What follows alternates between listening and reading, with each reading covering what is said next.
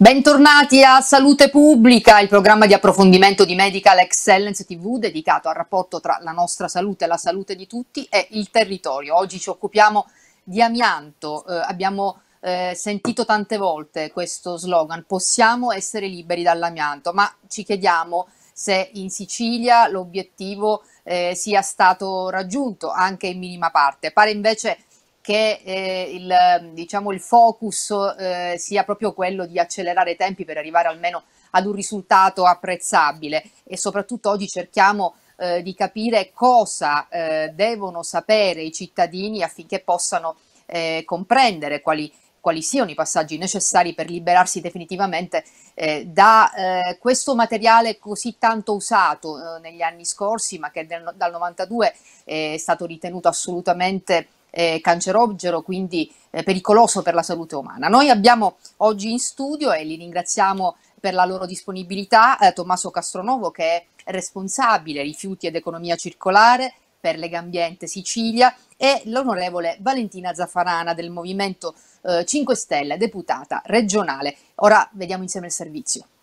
Nell'immaginario collettivo è ben radicata l'idea della pericolosità dell'amianto per la salute umana, sebbene la maggioranza dei cittadini non abbia ancora del tutto chiare le regole della bonifica dei siti pubblici e privati. L'amianto Eternit, dal nome dell'omonima azienda produttrice, è stato considerato un materiale multiuso e a basso costo per scopi industriali, edilizi e nella fabbricazione di prodotti di consumo, compresi quelli tessili. Ma che cos'è esattamente l'amianto? Si tratta di un insieme di minerali del gruppo degli inosilicati e del gruppo dei fillosilicati di consistenza fibrosa e dichiarati nel tempo cancerogeni. Il mesotelioma maligno è un tumore raro, una neoplasia che colpisce il mesotelio, il sottile tessuto che riveste la gran parte degli organi interni. Colpisce per lo più gli uomini ed è associato soprattutto all'esposizione all'amianto, in particolar modo a quello friabile, dunque agevolmente riducibile in polvere e in ultima analisi analisi facilmente inalabile.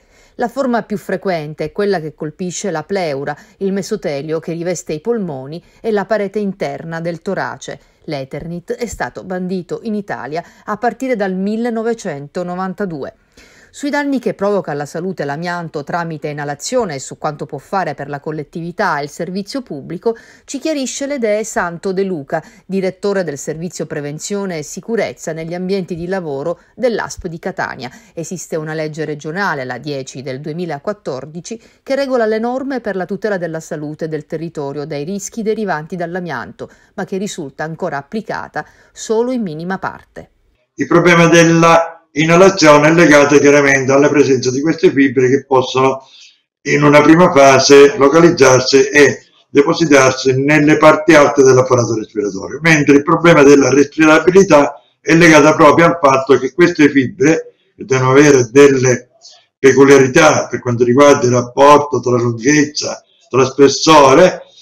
entrano direttamente all'interno dell'alveolo dove poi attraverso meccanismi fotogenetici determinano l'innesco di attivazioni, diciamo così, infiammatorie fino a diventare poi ad alterazioni anche cromosomiche e determinare quello che nella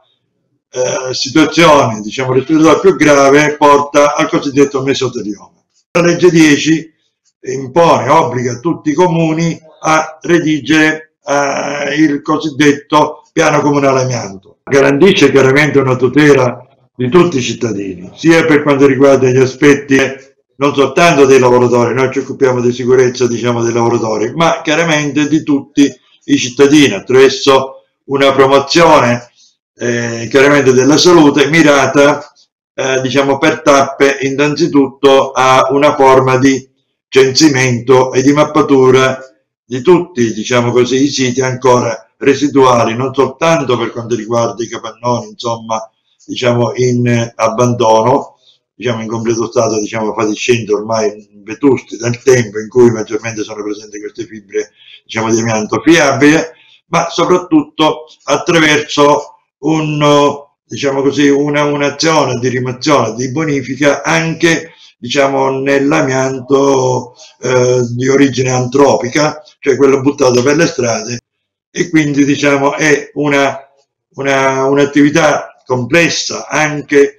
in alcuni comuni, diciamo, molte volte hanno disatteso fino adesso, diciamo, gli obblighi che la legge prevedeva di, diciamo, completare questo censimento, questa mappatura entro 24 mesi e chiaramente procedere ad una rimozione, quantomeno, diciamo, di amianto di tipo friabile entro tre anni dalla, dire, dalla nascita di questa legge che chiaramente, come ripetiamo, è del 2014. Quello che mi risulta soltanto pochi comuni, ma qua diciamo non ricordo, ma non per fare i nomi, non, non, è completata, soprattutto anche nella provincia di Catania, 58 comuni che afferiscono all'area metropolitana di Catania, soltanto pochi hanno eh, comunicato e attuato il piano comunale. Ma questo avviene perché comunque c'è una situazione anche, diciamo così, onerosa e di scarsa comunicazione che si è fatta di questo di questa legge 10 del 2014. Si è parlato del, come dire, dell'ufficio regionale, del, della protezione civile, c'è un ufficiamento, c'è una collaborazione anche per quanto riguarda, eh, come dire, la, la, la collaborazione con l'ARPA che chiaramente deve diciamo anche monitorare le situazioni anche ambientali perché non si parla in questo caso di monitoraggio o di bonifica dei siti in cui c'è un'attività lavorativa, ma qua il discorso è sistemico, ma credo a mio parere che sussistono intanto una scarsa, come dire, eh, professionalità del, degli aspetti tecnici che devono servire a censire e monitorare la presenza dei siti in fase di abbandono, un monitoraggio che ha degli oneri e non sembri c'è stato questo, eh, come dire, trasbordo di comunicazione, questa comunicazione a carico del, del cittadino che chiaramente si trova in difficoltà attraverso la compilazione della modulistica che è annoverata inclusa nel, nella legge 10 e quindi anche nel, nel, nel, nel piano comunale amianto. Difficoltà anche a volte ci sono nella rimozione di una vasca, di Eternit o di alcune, diciamo così, coperture in amianto con oneri che ancora, a mio parere, non si è capito come si deve procedere con il rimborso a carico di un utente, di un avventore, di un cittadino che chiaramente deve eh, procedere secondo i canoni e tutti gli obblighi diciamo, della normativa a rimuovere e conferire in discarica la diciamo così, il, eh, l'ondulina in fibrocemento o in amianto o ancora più, diciamo, anche situazioni in cui è presente l'amianto friabile, in discarica pagando un'impresa. Quindi c'è, a mio parere, un difetto di comunicazione. Un obiettivo, quello della mappatura dei siti che ospitano amianto, che in Sicilia sembra lungi dall'essere realizzato. Il piano regionale amianto, approdato alla regione siciliana solo nel 2021 con un ritardo di 30 anni, dovrebbe intensificare la lotta contro lo smaltimento irregolare e bonificare moltissime aree della Sicilia. Ogni ente locale potrà avvalersi del lavoro svolto dalla regione, che mapperà anche tramite foto satellitari la presenza di potenziali manufatti in amianto, anche per evitarne la rimozione in maniera arbitraria, un rischio per la salute e per le salatissime multe. Ma secondo Legambiente Sicilia il piano rischia di essere del tutto inefficace, mancando di concretezza. Sino alla primavera del 2021 solo 101 comuni siciliani avevano presentato un piano comunale di questi, solo una trentina erano stati redatti secondo i criteri previsti, solo 13.252 edifici residenziali e 632 scuole pubbliche erano erano state censite con presenza di cemento amianto. Sono state rimosse solo 22.000 tonnellate di cemento amianto. Eppure, sempre secondo Legambiente, si stima che in Sicilia ci siano oltre un milione di metri cubi di materiali contenenti amianto e procedendo agli attuali ritmi di smaltimento e bonifica ci vorranno 50 anni per rimuovere tutto l'amianto presente. E per chi ha lavorato a contatto con l'amianto subendo pesanti conseguenze sulla salute è ancora difficile avere giustizia. Bene, abbiamo cercato di fare un sunto, non era semplice parlare di amianto in Sicilia, significa parlare di tantissimi aspetti. Io la prima domanda la vorrei fare eh, proprio al dottor Tommaso Castronovo, che lo ricordiamo è, responsabile eh, del mh, settore rifiuti ed economia circolare di Lega Ambiente Sicilia. Ecco, eh, abbiamo compreso, eh, almeno da, da quello, anche da quello che ci ha detto il dottor Santo De Luca, che è il direttore del servizio prevenzione e sicurezza degli ambienti di lavoro a Catania, eh, che eh, non è semplice in questo momento eh, per i comuni adempiere a quelli che sono i doveri eh, di mappatura rispetto a, alle discariche ehm, eh, più o meno improvvisate che purtroppo continuano a, a, comparire nelle nostre città eh, e neanche per il cittadino è semplice liberarsi da eh, vecchi manufatti che magari sostano eh, ancora nei condomini nonostante il 92 sia una data dal, da, da, davvero lontana. Ecco, abbiamo capito che la Sicilia ha finalmente un piano regionale amianto, eh, però eh, i numeri eh, sono abbastanza crudeli direi, no? pare che sostanzialmente soltanto da, un, da, un'ultima ricognizione eh, soltanto 120 su 390, 391 comuni ci hanno provato. Ecco, eh, questi i numeri in sintesi, cos'è che non va secondo la vostra esperienza? Ma ehm, non va, eh, intanto saluto tutti i telespettatori e anche l'avvocato e deputato Zafferano. Eh, credo che no, non va semplicemente il fatto che non è una priorità eh, per questo governo regionale, non lo è stato neanche per i governi regionali passati, contrastare eh, la diffusione e soprattutto gli interventi, favorire gli interventi di rimozione smaltimento, bonifica dei siti contaminati da amianto. Questo chiaramente ha una ripercussione non indifferente sulla salute dei cittadini e sull'ambiente circostante, proprio perché appunto come avete segnalato nel vostro servizio, ci sono poi dei metodi molto sbrigativi e incivili da parte di soggetti che sia cittadini, ma molto spesso anche delle ditte eh, che, che, provvedono a smaltire l'amianto nel modo peggiore possibile che possa, che, in cui possa essere fatto, cioè quello di abbandonarlo illegalmente e illecitamente nei, nei terreni agricoli o a bordi delle strade eh, non, eh, non, sorvegliate, insomma una totale inciviltà ma soprattutto un totale pericolo per la salute delle, delle persone perché appunto quelli sono il, i manufatti che sono più pericolosi per, per, i cittadini perché una volta che sono lì sono lasciati agli agenti atmosferici molto spesso sono, sono rotti, sfibrati e questo appunto lascia eh, eh, lascia appunto fa sì che si liberano le fibre d'amianto che sono quelle più pericolose per, eh, perché può essere facilmente inalate da, da, chi passa nei dintorni o da chi sta nelle circostanze. Quindi è stato fatto veramente molto poco. I dati che sono stati da voi eh, indicati, che noi appunto abbiamo ripreso più volte nei nostri dossier con la nostra campagna Libera dall'amianto, eh, dimostrano appunto la totale mancanza di volontà di affrontare questo problema con serietà, programmazione e pianificazione. Lo diciamo, lo abbiamo ripreso anche nelle osservazioni che abbiamo fatto al piano regionale dell'amianto, a cui abbiamo segnalato, quale, al quale abbiamo segnalato tutta una serie di, di carenze, sia di carenze di pianificazione, carenze di programmazione, carenze di, di interventi previsti.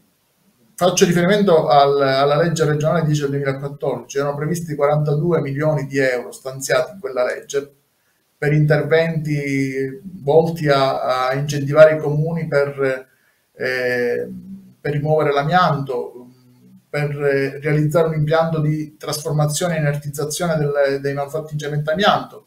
Beh, quei 42 milioni di euro che erano stati stanziati nel 2014 sono stati spesi se non 200 mila euro a favore appunto degli interventi per smaltire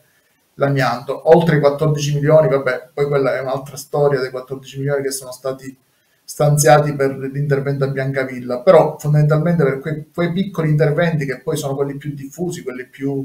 presenti nel, nei comuni siciliani è stato fatto poco. I comuni non si sono adeguati. La interrompo, per la interrompo per, chiederle, per chiederle una cosa. Lei ha parlato giustamente di, del caso Biancavilla, ci vorrebbe una puntata intera solo per raccontare il passato eh, eh, di quel comune rispetto a, a, questo che poi si è trasformato purtroppo in un dramma con delle vittime. La domanda che le voglio fare subito, se magari eh, ci risponde brevemente quali sono le aree problematiche in Sicilia che sono rimaste eh, ancora scoperte, diciamo che sono ancora sotto scacco dell'amianto.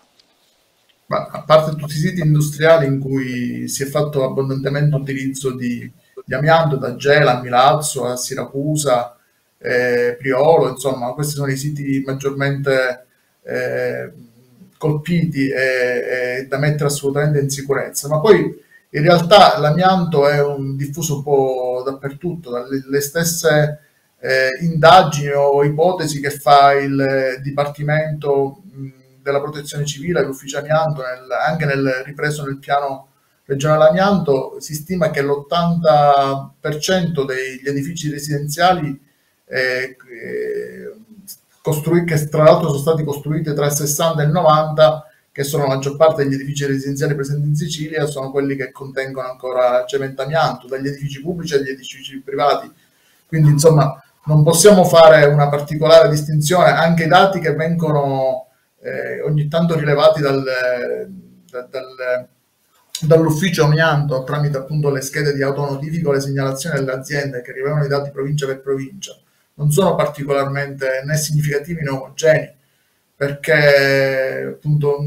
neanche questi sono, sono forniti con, eh, con, estrema chiarezza. E poi manca del tutto come dire, la, eh, i dati anteriori al 2013 quanto è stato fatto dal 92 al 2013 in termini di eh, bonifica, di smaltimento, rimozione, non, da, non c'è dato sapere, è una della, de, tra l'altro delle osservazioni che abbiamo rilevato anche noi nel piano regionale amianto, senza una, un, quadro chiaro, evidente di qual è lo stato dell'arte. È difficile anche dire, programmare degli interventi ad hoc. Certamente, certamente, dottor Castronuovo, questo, quella dei dati e quindi anche della storicizzazione del problema è un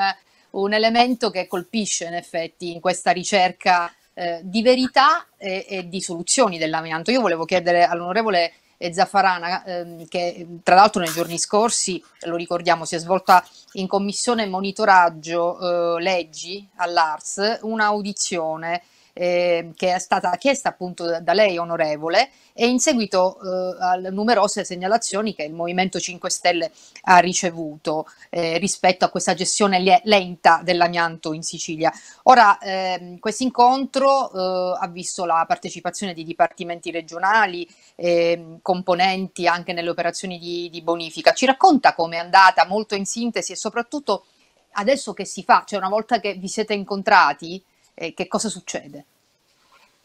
Sì, grazie innanzitutto, eh, saluto chi ci segue.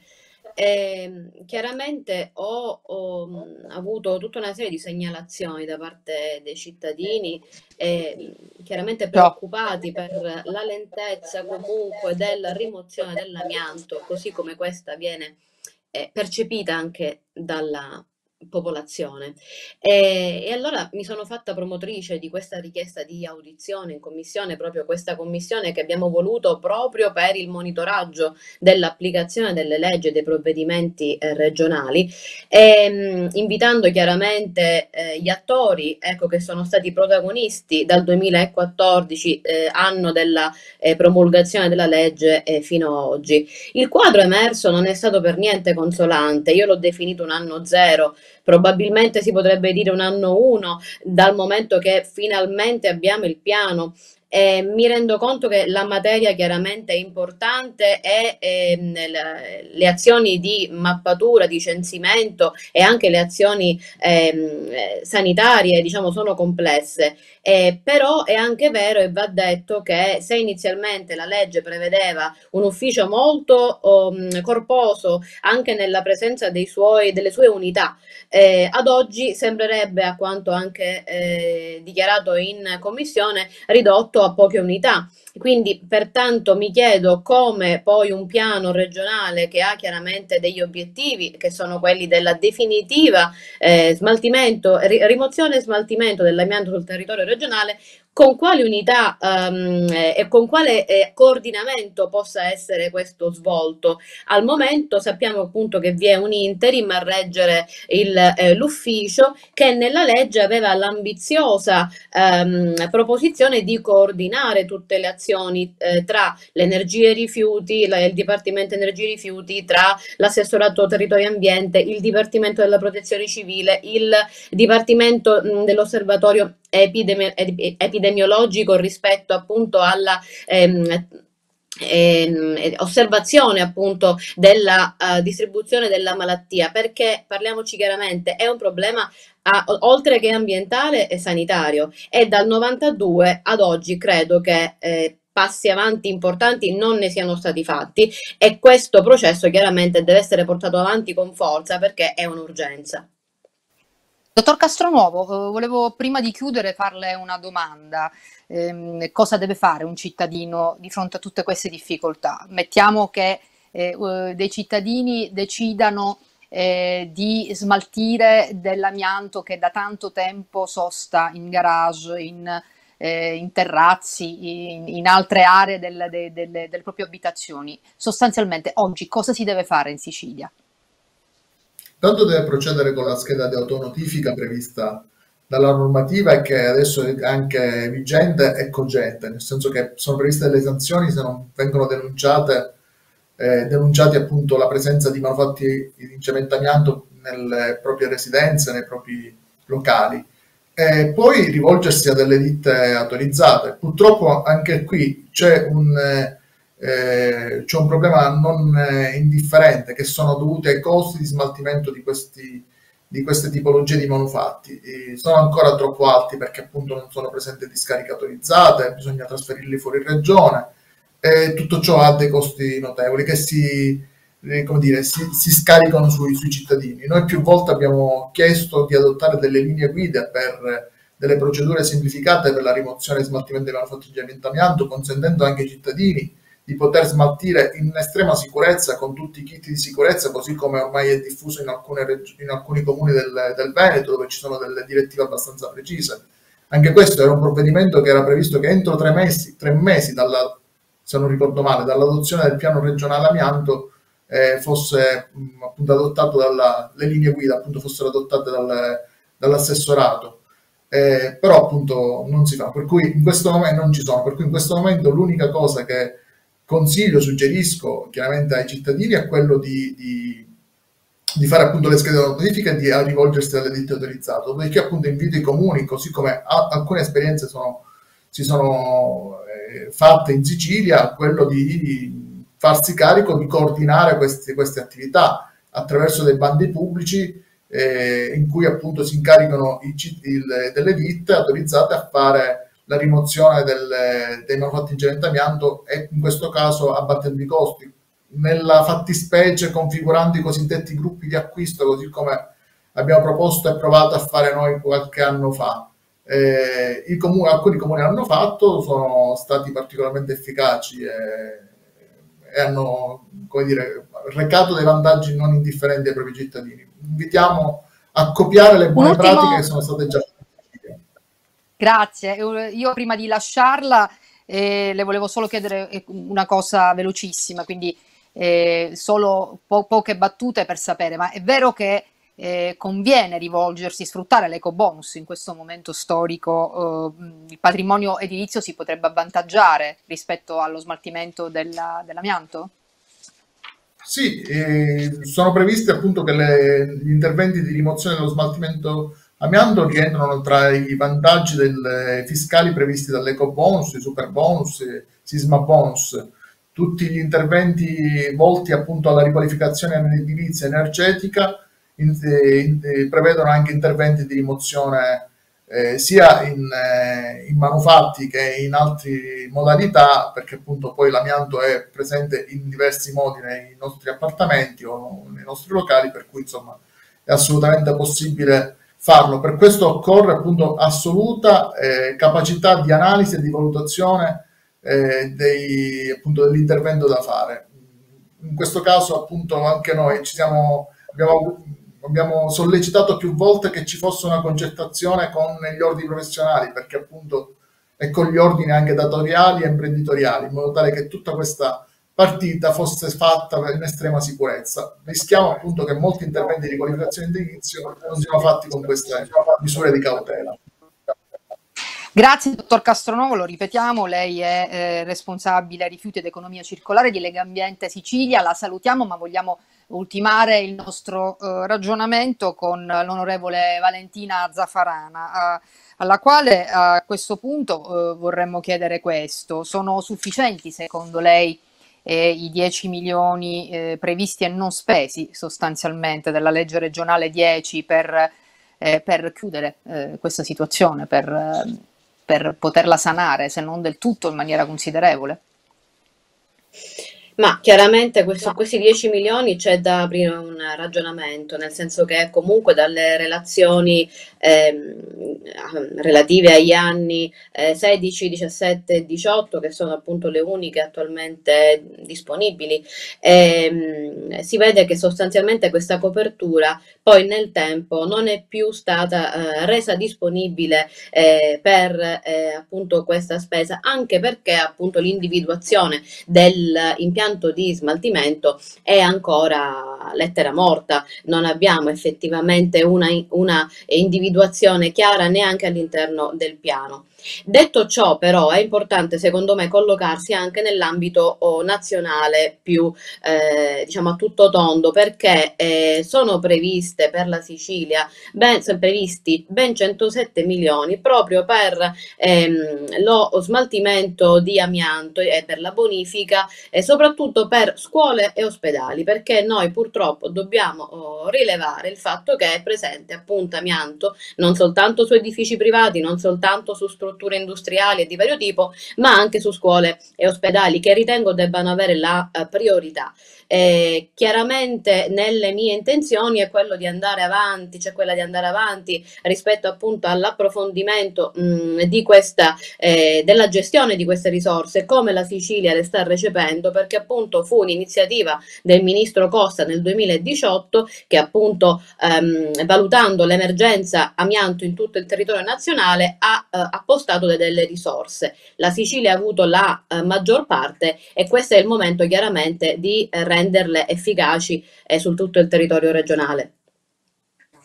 Bene, un'ultima domanda, una curiosità politica, ma questi temi in questi anni all'ARS sono eh, temi che in qualche modo incontrano eh, l'interesse dei deputati? È una domanda trasversale ovviamente, indipendentemente dalla loro eh, appartenenza, oppure siamo ancora al di là dell'autocoscienza ambientale, se possiamo chiamarla così.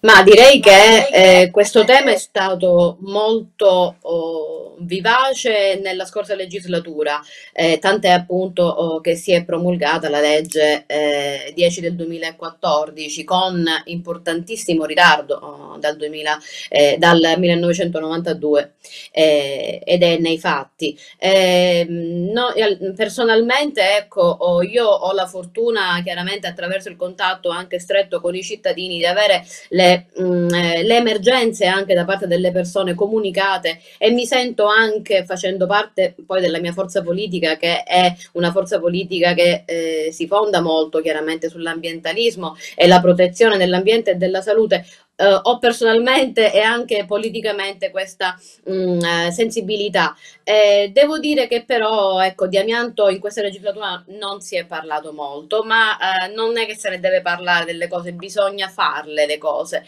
E allora ritengo che ehm, eh, costruire eh, diciamo un percorso che sia finanziato, sostenuto economicamente da appostamenti e, e, con, e seri ehm, eh, progetti per la rimozione, allora questa è veramente una politica che si occupa dei problemi delle persone. Come eh, diceva poc'anzi eh, chi mi ha, ha preceduto, soltanto 200 mila euro sono stati praticamente gli interventi dal 2014 a oggi eh, su alc alcuni interventi puntuali a livello regionale, poi chiaramente ci sono gli interventi eh,